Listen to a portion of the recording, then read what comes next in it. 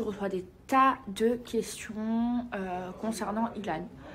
Alors, je vais vous dire sincèrement, Ilan, en garçon, c'est mon meilleur ami mec en fait. Euh, il ne s'est jamais, au grand jamais, passé quelque chose entre lui et moi. C'est mon meilleur ami, je peux lui faire des bisous, il peut me faire des bisous, mais ça n'ira jamais plus loin. C'est-à-dire qu'il s'est jamais passé quelque chose entre lui et moi.